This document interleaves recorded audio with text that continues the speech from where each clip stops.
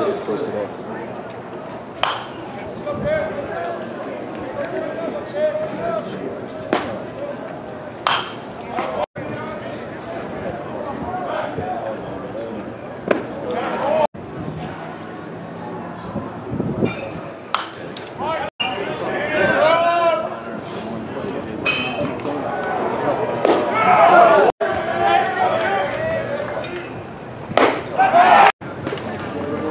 Store today. You got, you got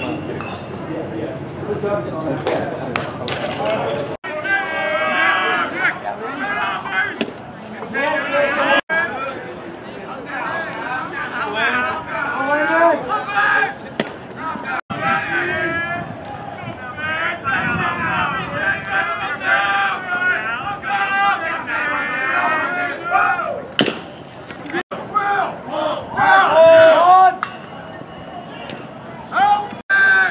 Easy.